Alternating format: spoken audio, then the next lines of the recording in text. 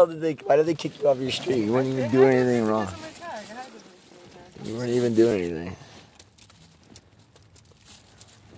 I think it was the CIA. They saw me pop up and they're like, nah, this guy can't be live streaming. That's dangerous. Hey, would you be interested in having some fun Hell yeah. The price. with my girl and I? Oh, She's 29. She's a big fan of the tongue piercing. Damn. That was surprisingly accurate. All the time. You have no idea. She's a big fan of your tongue piercing. Nice.